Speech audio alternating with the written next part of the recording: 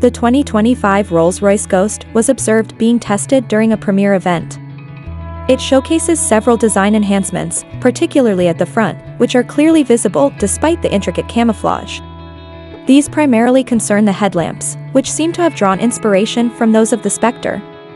It should be noted that these are not divided units, however the updated visuals may deceive the average person into believing otherwise.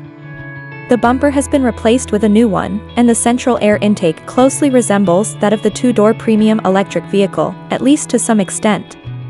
If there is one thing that the manufacturer has not altered on this prototype, which was observed undergoing cold weather testing in northern Sweden, it is the impressive grille, which has a striking resemblance to the one found on the current Ghost model. At the back, it features updated taillight artwork and no other new additions at the moment. Given that this is a mid-cycle refresh, we would not anticipate significant modifications to the chassis, as the Ghost is already widely regarded as one of the most comfortable luxury sedans available. It is also conceivable that the engineers of the brand have not made any modifications to the V12.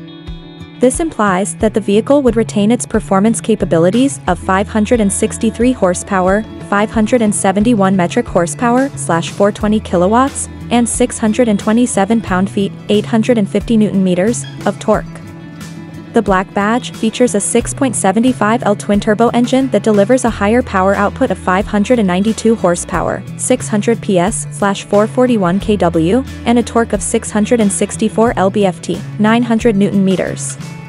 The second-generation Ghost is equipped with an 8-speed transmission manufactured by ZF and comes standard with all-wheel drive. The most powerful version of the car can accelerate from 0 to 62 miles per hour, 100 kilometers per hour, in just 4.7 seconds. The maximum speed is limited to 155 miles per hour, 250 kilometers per hour, and it is likely that the specifications will remain same when the updated version is released. When is the deadline? It is possible that the 2025 model year will be available in the United States, indicating that the initial units may arrive in our market by the end of 2024 or early in the following year.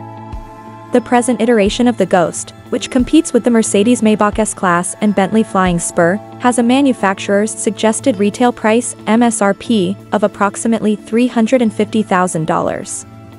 It is not unlikely for the price to be increased further,